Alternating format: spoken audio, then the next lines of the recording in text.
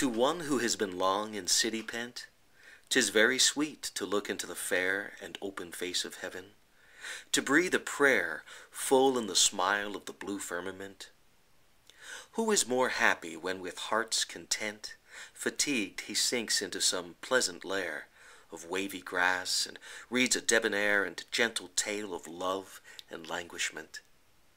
Returning home at evening, with an ear Catching the notes of Philomel, And I watching the sailing cloudlet's bright career, He mourns that day so soon has glided by, E'en like the passage of an angel's tear That falls through the clear ether silently.